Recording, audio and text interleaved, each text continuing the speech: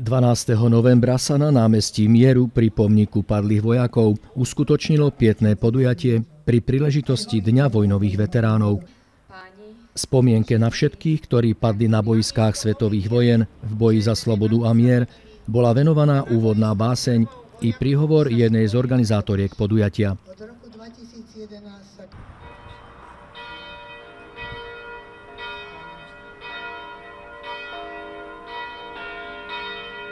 Počas spomienkového stretnutia sa o 11. hodine a 11. minúte rozozneli zvony kostola Božského srdca v Holíči.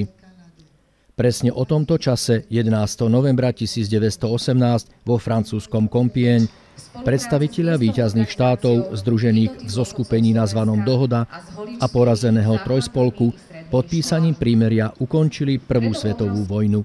Som rád, že sú tu na námestí, tak ako pri tých predchádzajúcich stretnutiach a úctenia si tých, ktorí tu za mnou na tej žulovej stéle sú vytesaní, ich pamiatku a ich obete, aby sme si mohli užívať to, čo je aj spojené s tým, s tým výročím ukončenia Svetovej vojny a to vznik Československa.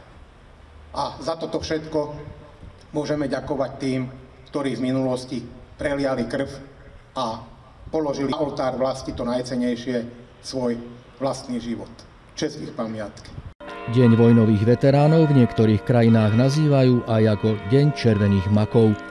Kvety červeného maku ako symbol spomienky na vojnové hrôzy položili predstavitelia mesta, ako aj žiaci s učiteľmi holíckých škôl k pomníku padlých. Pamiatku a hrdinstvo vojnových veteránov si takto uctili aj členovia Holíckej jednoty dôchodcov, zástupcovia politických strán i spoločenských organizácií.